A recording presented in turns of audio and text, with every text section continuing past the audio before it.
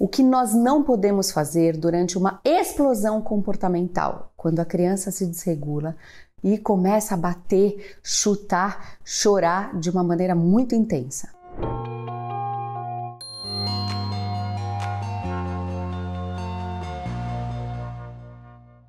Se é importante para você saber sobre a sua criança e o que você pode fazer para ajudar, já se inscreve aqui no canal e aproveita e curte esse vídeo para que ele chegue a mais pessoas que precisem. É importante a gente falar que desregulações e explosões comportamentais são comuns na infância. As crianças passam por isso fazem isso e a gente precisa conseguir ajudá-las a se organizar. Nós precisamos ajudar as crianças a se regular.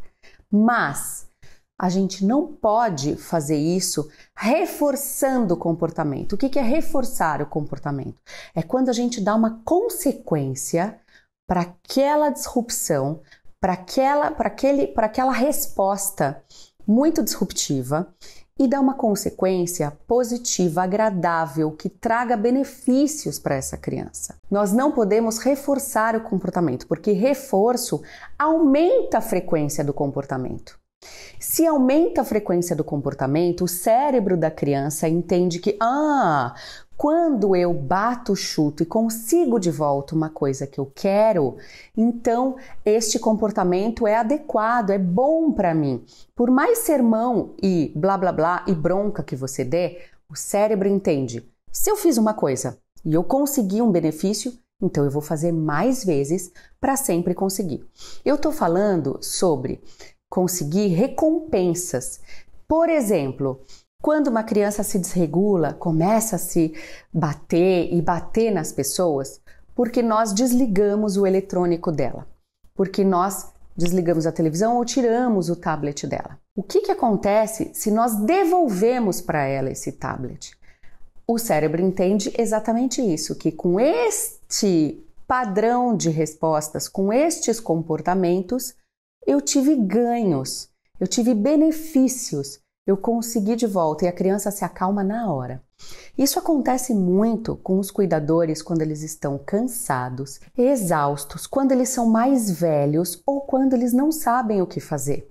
Sabe criança que fica às vezes com babá ou às vezes com os avós? Claro, a gente precisa de ajuda. É importante que a gente tenha rede de apoio, a gente sempre fala isso aqui. Mas essa rede de apoio precisa nos ajudar e precisa saber como reagir para não alimentar esses comportamentos, para não fortalecer essas reações. Sabe por quê? Porque quando elas se fortalecem, significa sinapses no cérebro ficando fortalecidas. A gente aumenta as sinapses, as ramificações e também fortalece elas. Só que elas são sinapses ruins do mal, que vão trazer um grande prejuízo e que numa próxima vez vão trazer um problema ainda maior quando esses comportamentos acontecerem. E é muito comum, eu tenho visto cada vez mais o uso de eletrônicos para acalmar a criança.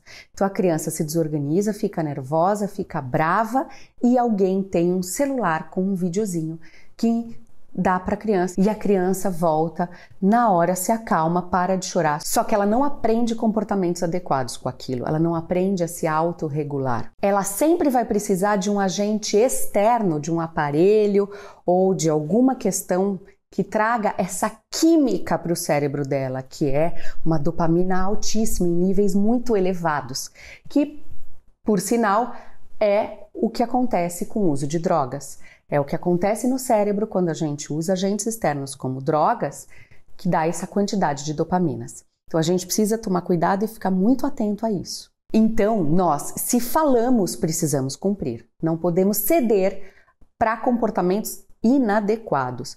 Ah, se a criança pede de um jeito adequado, aí sim você pode planejar, você pode ver como é que é na tua casa. O que nós não podemos então é ceder para comportamentos inadequados. Além disso, além da gente não poder ceder, a gente também não pode trazer coisas extrínsecas para organizar a criança, por exemplo, celulares, tablets, ligar a televisão.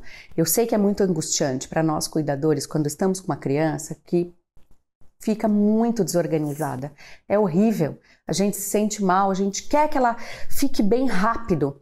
E por isso que a gente faz uso desses recursos. Mas o que, que a gente precisa fazer então? A gente precisa esperar. a gente precisa proteger para que ela não se machuque, a gente precisa aguentar junto com ela e dizer: eu sei que é difícil para você, mas a mamãe, a vovó, a tia tá aqui.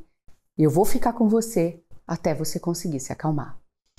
E faça coisas que você sabe que ajudem ou que beneficiem ela nesse momento. Por exemplo, se você acha que diminuir as luzes, diminuir os barulhos, diminuir as coisas que são interferentes e irritantes para ela pode ajudar? Isso você pode fazer. Abraçar, apoiar, acalmar, tudo isso a gente pode e deve fazer. O que a gente não pode é desautorizar nosso próprio comando, a nossa própria ordem e ceder ao que ela queria com esse comportamento ou trazer eletrônicos, que é o que a gente tem feito muito ultimamente. Conta para mim aqui embaixo como você tem feito aí na sua casa. Um beijo grande, até o próximo vídeo. Tchau, tchau.